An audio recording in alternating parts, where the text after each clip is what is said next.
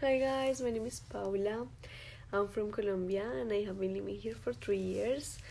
Uh, I'm still working on my English. I have no experience with public speaking. Um, so we'll see how it goes. Uh, from my personal life, I can say that I work a lot. I don't really like my job because I'm not a people person and then I'm a bartender, which means like listening to long and boring stories every day, all the day. But uh, I enjoy animals. Uh, that's my passion in life.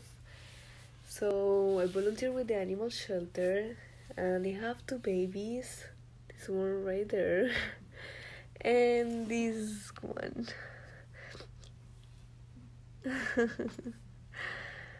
Mm, yeah, that's my life. Thank you.